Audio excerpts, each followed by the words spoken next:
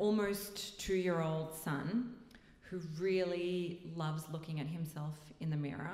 He stands there naked and he kisses his image.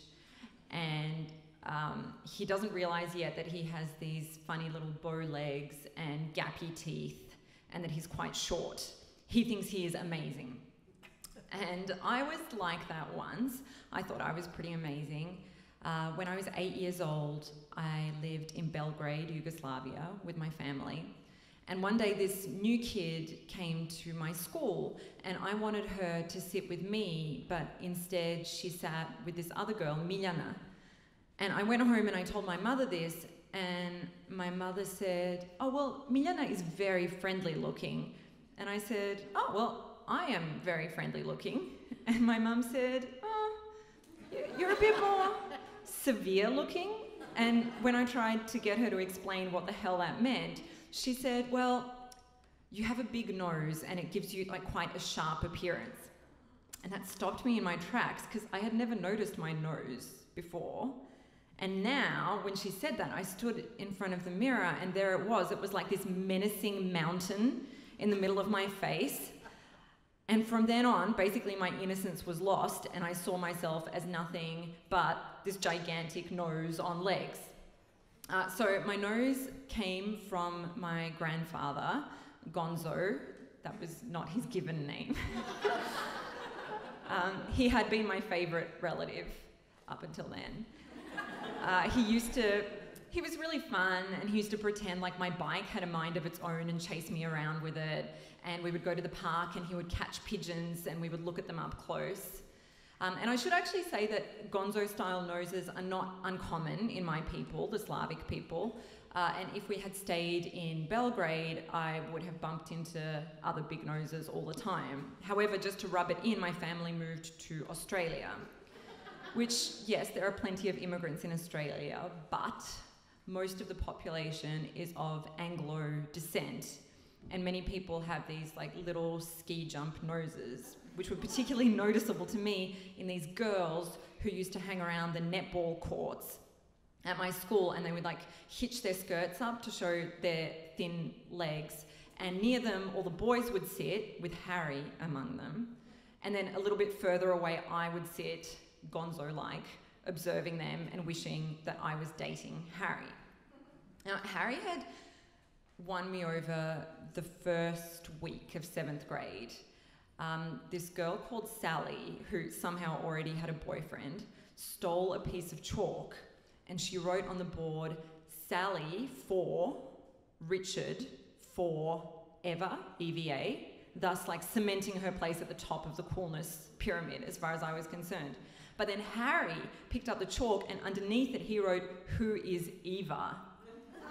And that just blew my mind because firstly I thought it was like a genius piece of wordplay but also it was like a pretty maverick way to fuck with the established hierarchy of seventh grade um, and the, the other amazing thing about harry was that he didn't really care about what other people thought which really distinguished him from me who really did care about what other people thought um, and Harry and I became friends, and we talked on the phone every day. Uh, we discussed things such as who was seen smoking a cigarette at Alicia's party, and whether cigarettes were actually cool and a way to rebel against the establishment, aka our parents, or if they were just a tool of peer pressure and a way for cigarette companies to make money.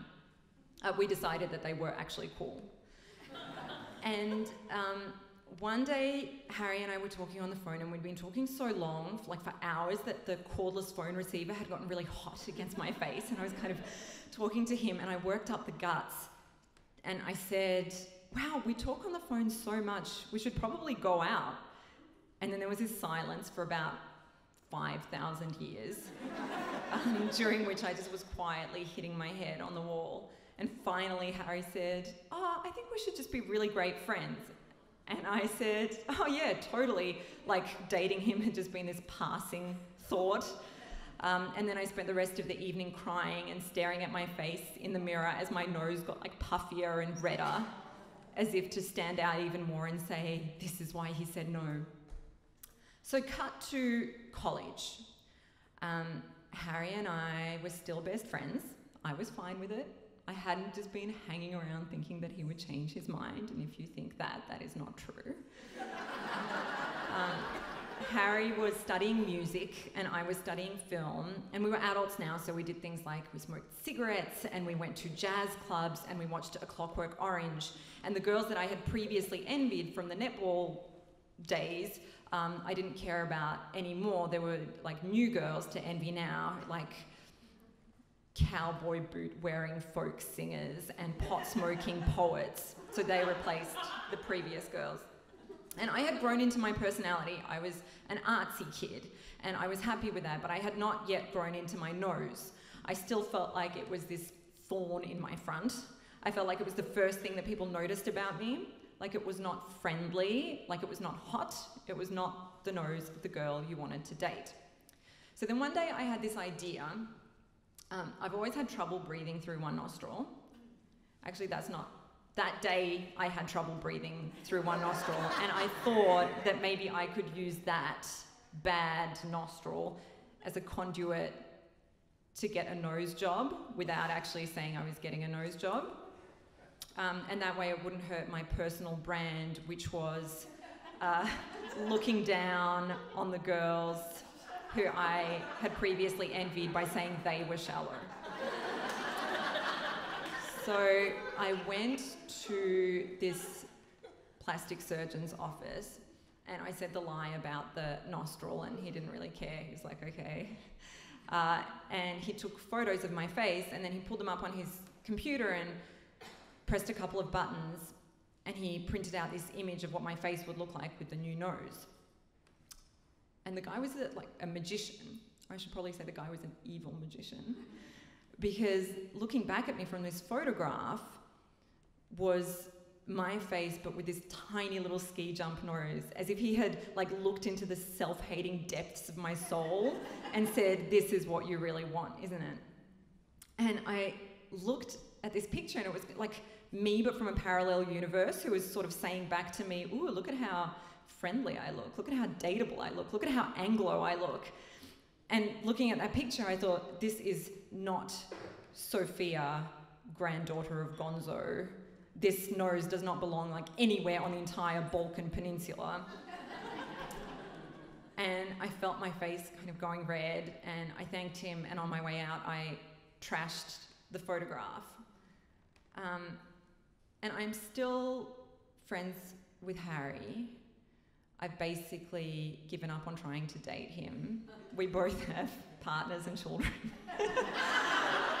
um, and sometimes I think that he is the reason that I didn't go through with getting a nose job because I was too ashamed to do something that would show him how much I cared about what other people thought about me.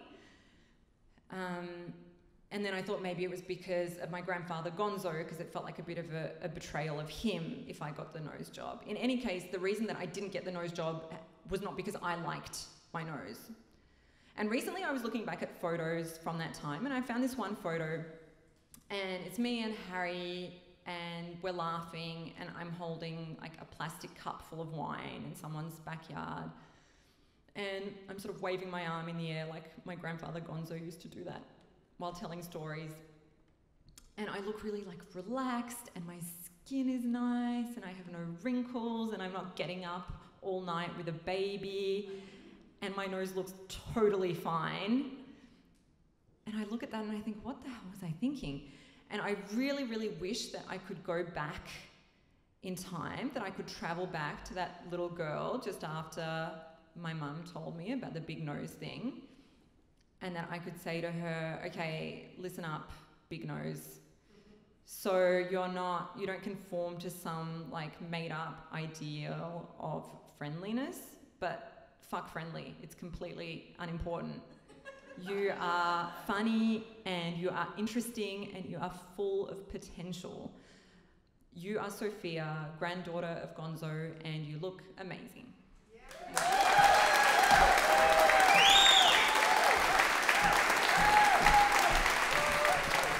The beautiful Sofija Stefanovic.